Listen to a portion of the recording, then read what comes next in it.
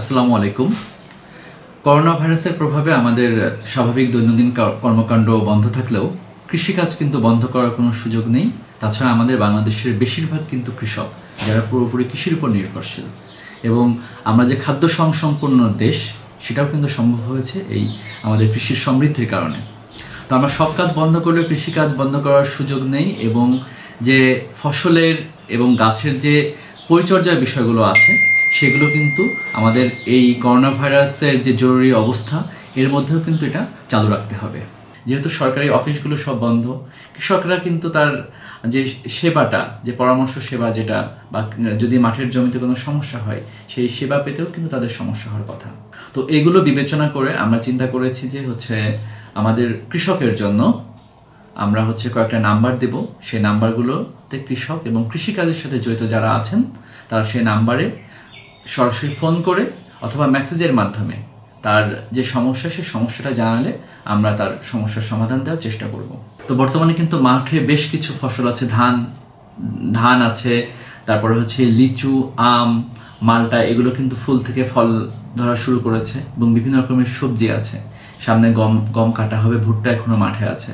তো এই সকল ফসলের যেগুলো মাঠে আছে বা কৃষকের এখন পরিচর্যার প্রয়োজন। এই পরিচর্যার বিষয়ে কোনো কোনো কিছু প্রয়োজন হলে আমাদের কৃষক ভাইরা বা কৃষির সাথে জড়িত যারা আছেন, তারা এই নাম্বারগুলোতে, আমি আমার ব্যক্তিগত নাম্বার এবং হচ্ছে আমাদের চারজন এক্সপার্ট উপসহকারী কৃষি অফিসার আছেন, আমার এখানে কর্মরত তারা তারা এই মাঠের এই সমস্যার সম্বন্ধে ভালো একটা সাজেশন দিতে পারবেন। তাদের নাম্বার সহ আমার নিজের নাম্বার, আমরা হচ্ছে এটা শুধু আমাদের চুয়াডাঙ্গার জন্য না, সারা বাংলাদেশের সকল কৃষকের জন্য। প্রতিদিন সকাল নয়টা থেকে সন্ধ্যার আগ পর্যন্ত এটা ওপেন থাকবে।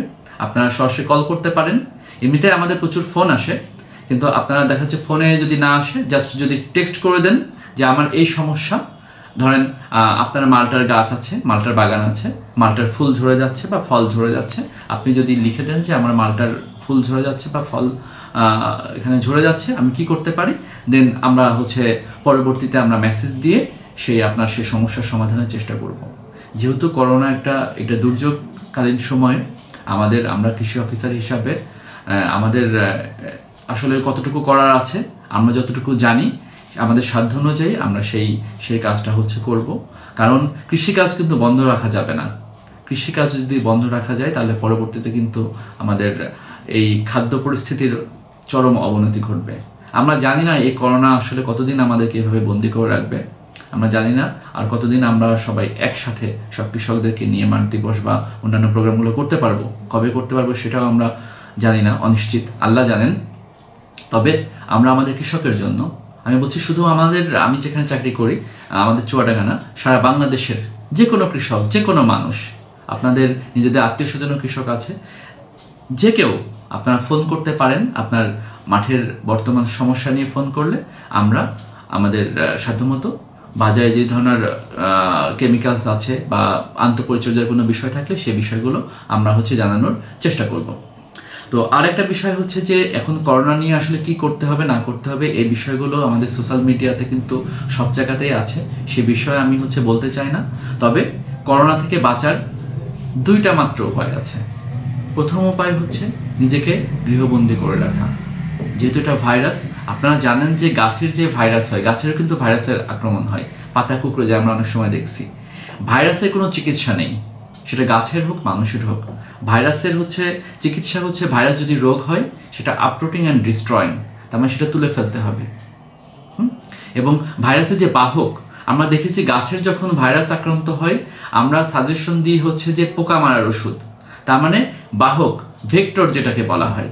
দেখা যাচ্ছে যে অ্যাফিড জাতীয় পোকা কিন্তু ভাইরাস বেশি ছড়ায় বলে আমরা ম্যালাথন জাতীয় হচ্ছে কীটনাশক হচ্ছে স্প্রে করার কথা বলি।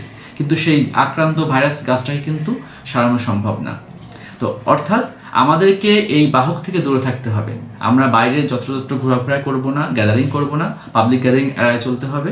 এবং আপনারা জানেন যে ভাইরাস হচ্ছে নিজের, নিজে জড়ো টাইপের নিজে জড়ো বস্তু মানে নিজে মুভ করতে পারে না, কিন্তু বাহক পেলে সে মুভ করে। অতএব যে কোনো জায়গাতে ভাইরাস থাকতে পারে, সেই হাত দিয়ে নাকে, মুখে, এগুলো হাত দেওয়া যাবে না। ভালো করে হাত ধুতে হবে। এই বিষয়গুলো হচ্ছে আপনারা জানেন। আর দ্বিতীয় প্রতিরোধ ব্যবস্থা হচ্ছে যে আপনার ইমিউন সিস্টেম ডেভেলপ করতে হবে। তার মানে আপনার শরীরের সেই সামর্থ্য থাকতে হবে যে এ ধরনের ভাইরাস আপনাকে কিছু করতে পারবে না। তো আমাদের ইমিউন সিস্টেম ডেভেলপ করার জন্য আমাদের কিন্তু বিভিন্ন রকমের ভিটামিন এবং পুষ্টিকর খাবার খেতে হবে। বিশেষ করে আপনারা জানেন লেবু জাতীয় মানে সাইট্রাস জাতীয় হচ্ছে ফলগুলোতে প্রচুর পরিমাণ ভিটামিন সি আছে, সেগুলো খেতে হবে। সাথে হচ্ছে ভিটামিন বি সিক্স সমৃদ্ধ হচ্ছে বিভিন্ন যে খাবার আছে, সে খাবারগুলো খেতে হবে। আপনারা বাদাম খেতে পারেন, আপনারা হচ্ছে দই খেতে পারেন, দই। দই কিন্তু আপনার রোগ প্রতিরোধ ক্ষমতা বাড়ায়। ভিটামিন ডির যেসব যেসব উৎস আছে, সেই উৎসগুলো আপনি করতে পারেন, আপনারা গ্রহণ করতে পারেন। আর একটা বিষয় হচ্ছে রোদ। এই প্রকৃতির এই রোগ এই রোগ কিন্তু প্রকৃতি থেকে আসছে। যদি তাই হয়, নিশ্চয় সৃষ্টিকর্তা মহান আল্লাহ রাবুল আলামিন আমাদেরকে তেমন শেফা দান করেছেন? আমরা সূর্যের আলোকে কিন্তু কাজে লাগাতে পারি। আমরা এমনিতেই বলে থাকি যে প্রতিদিন আধা ঘণ্টা সূর্যের আলোতে থাকলে শরীরে কিন্তু শরীরের রোগ প্রতিরোধ ক্ষমতা বৃদ্ধি পায়। হ্যাঁ আমরা কিন্তু এই কাজটা হচ্ছে শরীরে, হচ্ছে আমরা রোদটা যদি একদম ফুল সানলাইট অ্যাটলিস্ট বিশ পঁচিশ মিনিট হচ্ছে লাগাই, তাহলে দেখবেন শরীরের সেই উষ্ণতা এসে আপনার ভিতরে ঠান্ডা ঠান্ডা ভাবগুলো হচ্ছে দূর হচ্ছে। তো আমরা পুষ্টিকর শাকসবজি, ফলমূল, অ্যান্টিঅক্সিডেন্ট সমৃদ্ধ বিভিন্ন ফলমূল আমরা হচ্ছে এগুলো বেশি বেশি করে খাব এবং হচ্ছে ভাজা পোড়া এগুলো হচ্ছে অ্যাভয়েড করব। আর একটা বিষয়, আমরা আশেপাশের মানুষকে হচ্ছে সচেতন করব। আপনি যদি মনে করে থাকেন যে আমার কিছু হবে না হ্যাঁ এই, এইগুলো এমনি আসছে এমনি চলে যাবে, বিষয়টা তা না। আজকে হচ্ছে মার্চ মাসের চব্বিশ তারিখ, আজকে কিন্তু আমরা জানি না আমাদের এই সামনের কী দিন অপেক্ষা করছে।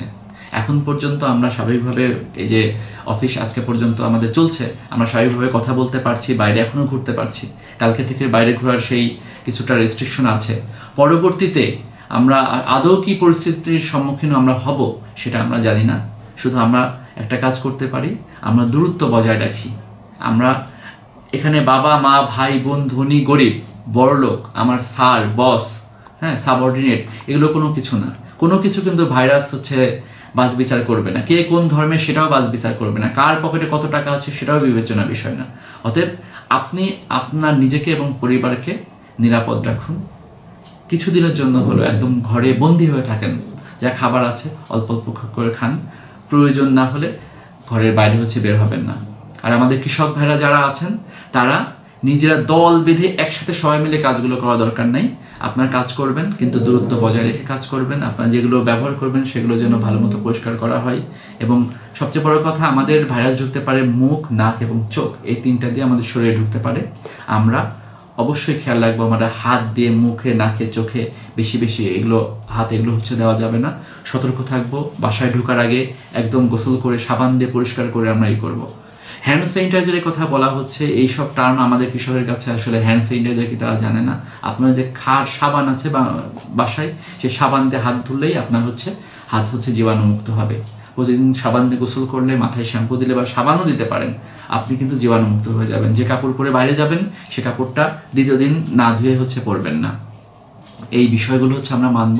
সামনে গরম শুরু হচ্ছে, আমরা প্রচুর পানি খাব। প্রচুর পানি খাব, আপনাকে শরীরকে সুস্থ রাখতে হবে। মনে রাখতে হবে যে আপনি যদি অন্য অসুখে অসুস্থ হন, করোনা কিন্তু আপনাকে অ্যাটাক করলে আরও বেশি করে আপনাকে ধরবে। কিন্তু আপনি যদি স্বাভাবিকভাবে সব কিছু দিক দিয়ে সুস্থ থাকেন, করোনার ভাইরাস আপনার ভিতরে ঢুকলেও আপনার সেই প্রতিরোধ ক্ষমতা আপনার মধ্যে আসবে। আমরা আল্লাহর কাছে হচ্ছে দোয়া করি যে আমাদের এই সুন্দর দেশকে, শুধু দেশ না, শুধু আমাদের ধর্মের মানুষ না, সারা পৃথিবীর মানুষকে আল্লাহ হচ্ছে হেফাজত করুন। এবং এই যে মহামারী, এই যে দুর্যোগ এই দুর্যোগ থেকে আল্লাহ আমাদেরকে রক্ষা করুন। ধন্যবাদ।